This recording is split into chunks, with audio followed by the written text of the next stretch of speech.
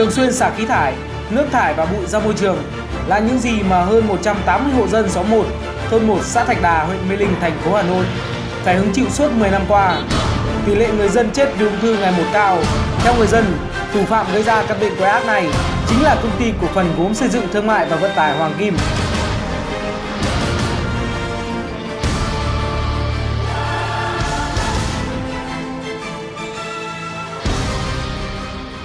Thì bây giờ chúng tôi già rồi, sắp chết rồi nhưng còn nửa tuổi các cháu nó thơ ngây như thế này mà cứ hàng ngày mà ngửi cái mùi than thì kinh lắm, chết độc. Trước mới đầu nó dựng thì mình kiện cáo thì nó bảo rằng là chỉ có đốt bằng bằng bằng gì, đốt bằng điện.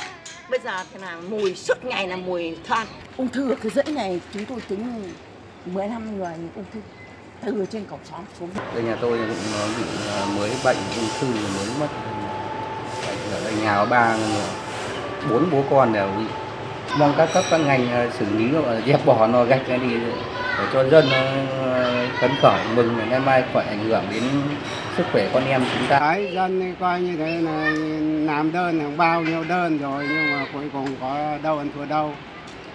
Nò gạch thì coi là đây dân không đồng ý. Đến chỗ kia đấy nó gạch đây chỗ này nó còn nấp hết cả mực.